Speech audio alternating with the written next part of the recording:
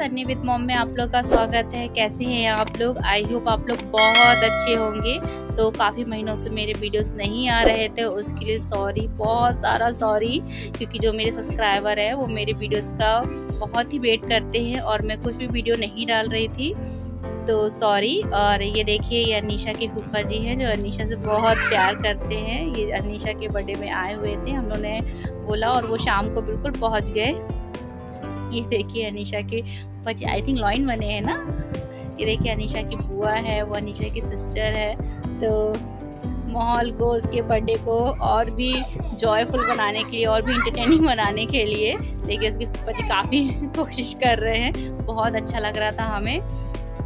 और फ्रेंड्स एक बात मैं आप लोगों से आ, बोलना चाहूँगी। प्लीज़ पर्सनली मत लीजिएगा। जिस तरह आप लोग ये मत सोचिएगा कि मेरी बेटी का बर्थडे है तो अपनी बेटी का बर्थडे एकदम नॉर्मल तरीके से सिंपल तरीके से सेलिब्रेट कर रहे हैं। जैसा कि आप लोग मेरे पिछले ब्लॉग में आप लोगों ने देखा होगा कि हम मतलब उड़ीसा में रहते थे, अनिशा के डैडू का ट्रांसफ़र हो गया, अब हम लोग कटनी आ गए हैं तो हम लोग अपनी फैमिली को इतना समय नहीं दे पा रहे थे तो आप लोग ने भी एक चीज़ नोटिस की होगी कि जब हम कुछ भी चीज़ सेलिब्रेट करते हैं, कुछ भी फ़ंक्शन रखते हैं तो जब हम बहुत अपने मेहमानों को इनवाइट करते हैं तो हम वो अपनी फैमिली को टाइम नहीं दे पाते हैं। हम इतना उसमें व्यस्त हो जाते हैं कि हम फैमिली को समय ही नहीं दे पाते तो ये अनिशा के डैडू का और मेरा एक प्लानिंग था कि हम अपनी बेटी का बर्थडे फैमिली के साथ सेलिब्रेट करेंगे ताकि उन्हें ज़्यादा ज़्यादा हम टाइम दे सकें और उनके साथ इंजॉय कर सकें। तो बस इसलिए हमने अनिशा का बर्थडे बहुत ही सिंपल तरीके से मनाया। और आप लोग तो जानते हैं ना कि बेटियाँ क्या होती हैं। बेटियाँ तो कहना चाहिए, जिस घर में बेटियाँ होती हैं, वो घर तो स्वर्ग होता है।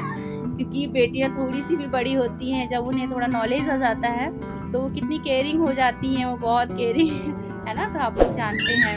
तो बेटियाँ तो बहुत ही प्यारी होती है, बहुत अच्छी होती हैं। और अनिशा का जो फ़र्स्ट बर्थडे और सेकंड बर्थडे था, वो हमने उड़ीसा में सेलिब्रेट किया था। बट विदाउट फैमिली सेलिब्रेट किया था, जो अनिशा का ये थर्ड बर्थडे है, हमने इसे फैमिली के साथ सेलिब्रेट किया। हमें बहुत खुशी, बहुत अच्छा लगा फैमिली के साथ। कोई भी मोमेंट जब हम लाइव करते हैं, बहुत ही अच्छा लगता है, बहुत अच्छी फीलिंग्स आती हैं। तो बस हम लोगों को बहुत अच्छा लग रहा था और सबसे अच्छी बात ये थी कि हम फैमिली फैमिली वाले ही थे फैमिली मेंबर ही थे घर में तो बहुत अच्छा लग रहा था। क्योंकि फैमिली वाले रहते हैं तो हम कुछ नहीं सोचते कि ऐसा करना है, वैसा करना है। जो मन में करना हो, जैसा करना हो, हम आपस में मिलके करते रहते हैं। देखिए, अरनिशा कितना खुश हो रही थी अपना बर्थडे केक देखकर। उसे बहुत खुशी हो रही थी, वो सबसे ज़्यादा खुश थी। और उससे ज़्यादा खुश हम लोग थे। वो तो खुश थी ही। तो अब आपको जो मेरे नेक्स्ट वीडियोस मिलेंगे वो यहाँ एमपी के ही आप लोग को वीडियोस मिलेंगे। सो प्लीज़ जो लोग नए आए हैं मेरे चैनल सो प्लीज़ सब्सक्राइब करें लाइक करें और मेरी बेटी को बर्थडे विश ज़रूर करें मुझे बहुत खुशी होगी और आपका सब्सक्राइब मुझे बहुत ही मोटिवेट करता है और अच्छे अच्छे वीडियोस बनाने के लिए इनक्रेज करता है। सो प्लीज़ आप लोग मुझे ज़रूर सब्सक्राइब करिएगा। तो ये देखिए अनीशा के दादाजी, उसका बर्थडे के अनीशा से कटवाते हुए। फ्रेंड्स जैसा कि मैंने आपको बताया कि काफ़ी महीनों से मेरे वीडियोस नहीं आ रहे थे यूट्यूब पर, क्योंकि अनीशा के डैडू का हो गया है यहाँ पर ट्रांसफ़र तो हम लोग अब आ गए हैं यहाँ पे एमपी अब हमारा एमपी में ही रहना होगा। तो आप लोग समझ सकते हैं कि वहाँ से शिफ्ट होके, वहाँ से आकर फिर यहाँ शिफ्ट होना, फिर सारा अरेंजमेंट करना मतलब इतना सब कुछ था तो हम लोग इन सारी चीज़ों में लगे हुए थे, इसलिए वीडियो नहीं बना पा रहे थे।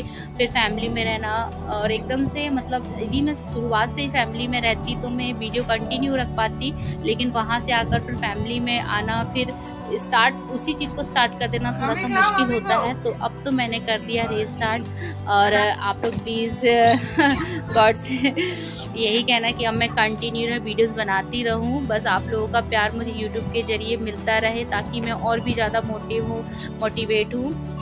है ना आप लोगों के सपोर्ट के बिना मैं कुछ भी नहीं कर सकती क्योंकि आप लोगों का सपोर्ट ही है जो मुझे आगे ले जाएगा। या निशा की बुआ हैं। वो तो आ नहीं पाई थी तो बस एक वीडियो कॉलिंग ही एक ज़रिया है जिसमें जो पर्सन नहीं भी आया, वो भी इंक्लूड हो जाता है। तो बस अनिशा की बुआ वहाँ से अनिशा का बर्थडे सेलिब्रेट कर रही थी। और ये अनिशा की दादी हैं, अनिशा की दादाजी, अनिशा की बुआ, अनिशा की सिस्टर है ना? अनिशा के डैडू नहीं दिख रहे ना आपको? तो चलिए कोई बात नहीं, अगले वीडियो ये दे देखेंगे आप लोग, अनिशा की डैडू भी आपको मिलेंगे उसमें, है ना? क्योंकि वो वीडियो शूट कर रहे थे।